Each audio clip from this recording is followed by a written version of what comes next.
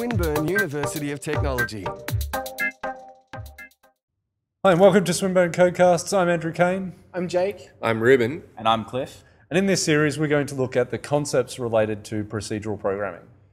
Each video covers one concept in depth and demonstrates to you how you can achieve certain tasks with a programming language. And when we step through the code, we'll be visualizing the computer's memory, and that's something we call hand execution. We'll also be providing you with an output window to show exactly what the program is going to be doing, whether it outputs to the terminal or whether we've got a graphical interface to do that. Okay, we hope you enjoy this series, and we'll look forward to seeing you soon. Bye. Bye. That's pretty good. This has been a Swinburne production.